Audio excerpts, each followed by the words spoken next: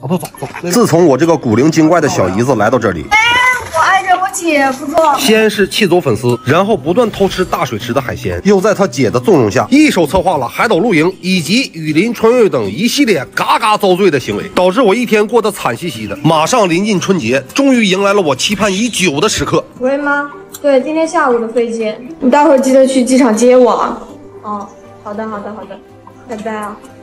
下午的飞机怎么还不走？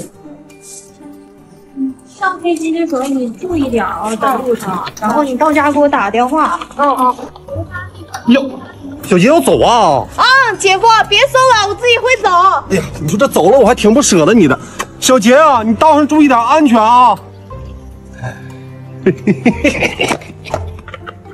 小杰走了，我决定好好庆祝一下，约上几个朋友来他一次海上度假。每次出海都是为了获取海鲜，而今天不同，终于可以好好放松一下了。下水，跳进清澈的海水，瞬间洗刷掉所有的烦恼。而潜水获取海鲜的任务就交在了我的战友身上，他可是名副其实的潜水大神。下水便是一个猫眼活，直接收入囊中。在他的不远处又发现一个，果断收了。他在水下潜水，我们则在船上钓一些观赏鱼，带回大水池饲养。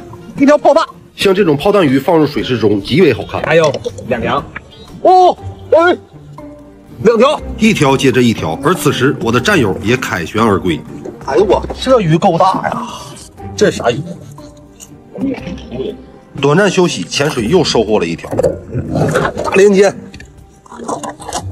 够大个了吧？不一会儿就搞到了几条大鱼，收获满满，满载而归。今天我准备来一条清蒸红油，将处理好的鱼改上花刀，并放入姜片和大葱段去腥。水开后放入锅中蒸八分钟，蒸好的鱼再摆上葱丝，淋上蒸鱼豉油，最后再淋上热油，激发出葱的香味。这样一道清蒸红油鱼就做好了。哎呀哇，太香了！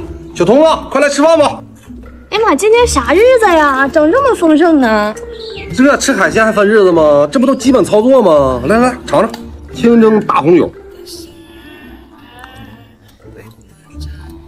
哎呦，这红油真好吃！哎，来一块。哎呦，真嫩啊！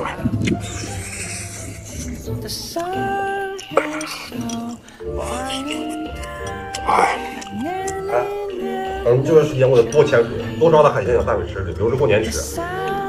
靠自己动手，丰衣足食，简简单单又是一餐，这就是我们的海岛生活。